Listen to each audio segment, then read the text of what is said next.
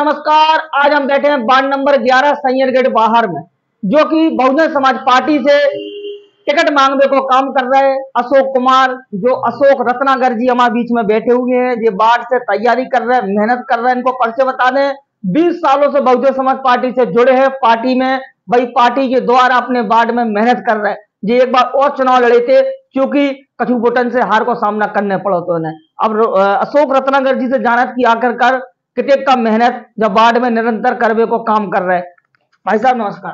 नमस्कार। भाई साहब कैसी का मेहनत चल रही वार्ड में? अभी सुबह से निकल जाते हैं हम और पाँच बजे से उठ के तो लोगों के बीच में बैठते हैं और दिन में शाम को जब वक्त मिल रहा हमें वक्त के हम तो इस वक्त बाढ़ की जो गंदगियाँ हैं बहुत परेशान है। लोग नारियों में कीड़े आ रहे है जो हो रहा वो हो रहा मोहल्ले में बहुत गंदगी फैल रही।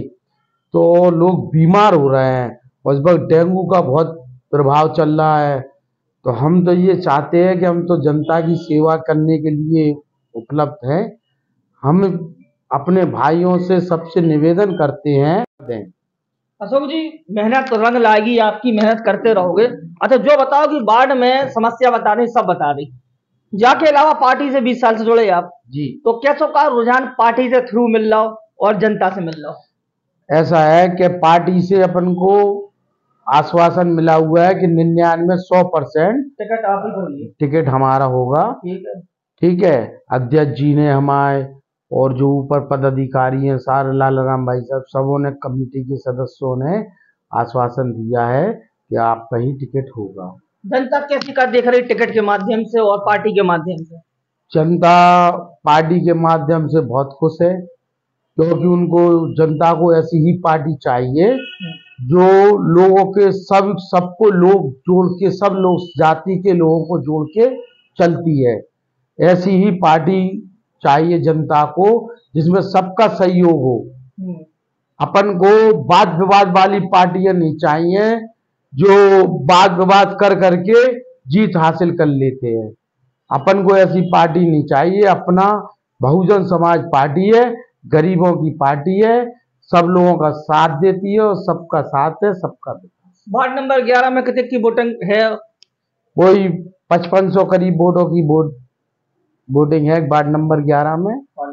जी। पचपन सौ वोटिंग में एक्चुअली सभी देखे जाए सभी जाति के हैं।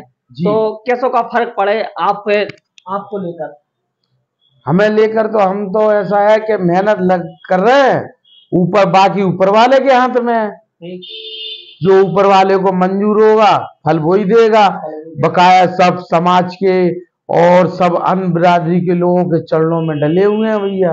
उनसे बस आशा की कृपा करते हैं कि बड़ी उम्मीद है उन लोगों से सबसे भाइयों से माताओं से बहनों से सबसे उम्मीद है कि हमें एक बार अपने चरणों में सेवा करने का मौका दें। बहुत शानदार बात रखी अशोक जी ने। अशोक जी जो बताओ जैसे कि सुबह आप निकल जाते तो शाम को कितने बजे तक हो जाते सवेरे ऐसा है कि हम सवेरे निकले छः बजे करीब निकलते हैं तो दस बजे तक लोग मिलते हैं तो दस बजे तक सबसे मिलते उठते बैठते फिर उसके बाद लोग बाग अपने काम धंधे पे चले जाते हैं। हम भी थोड़ा बहुत इधर अपने देख लेते हैं कमी है बाट में क्या हो रहा है घूम फिर के। फिर उसके बाद लोगों को देखते हैं जो सेवा बनती है वो करते हैं। सभी घर में हुआ है का नहीं हुआ है? अभी ज़्यादातर है कि अस्सी परसेंट लोगों के यहाँ हुआ है। जी। क्या कह रही जनता पर जनता तो आशीर्वाद दे रही है। दे रही हाँ।